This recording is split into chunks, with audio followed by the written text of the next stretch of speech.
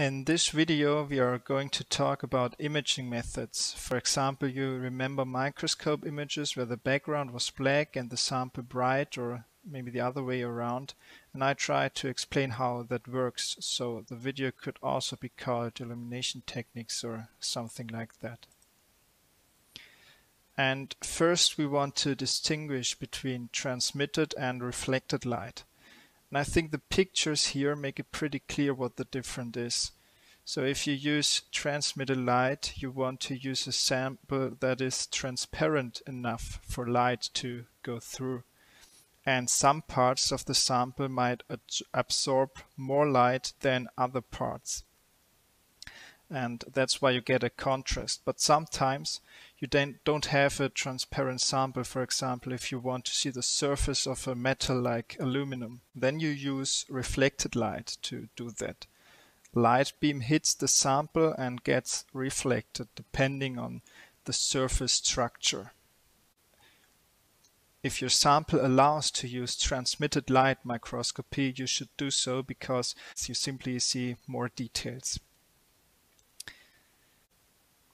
If you decided on whether to use reflected light or transmitted light, you have even more options to control the final image.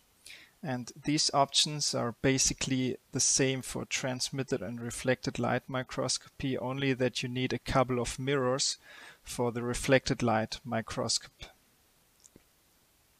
Therefore, I show the principle only for the transmitted light microscopy because it is easier to draw the illustrations.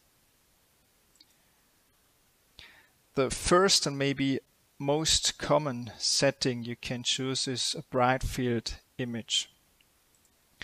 The sample is simply illuminated, absorbs light and appears dark while the background does not interact with the light and appears bright.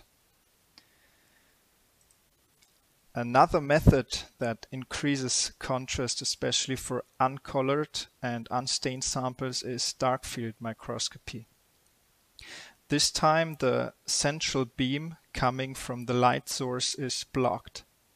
That excludes light which was not scattered by the sample, or in other words, light from the surrounding is excluded. That is why in this case the background appears dark while the sample appears bright.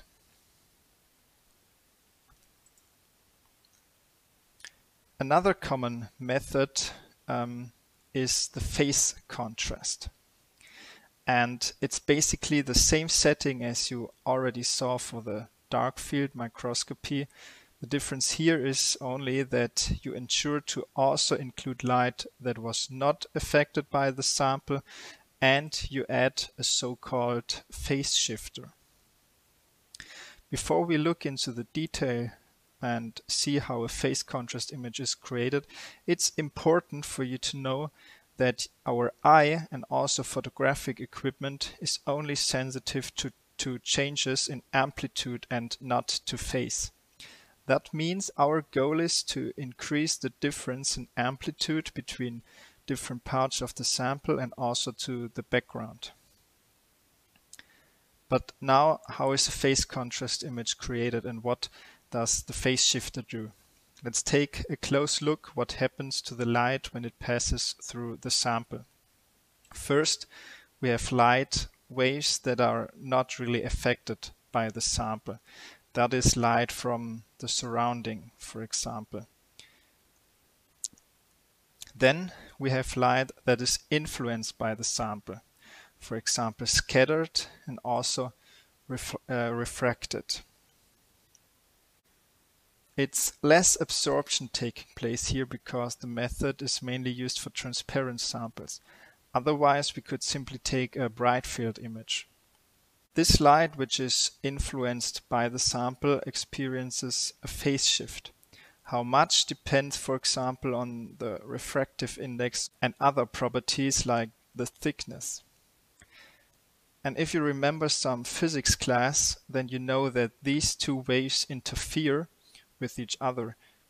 And the phase shifter boosts that to increase the contrast even more.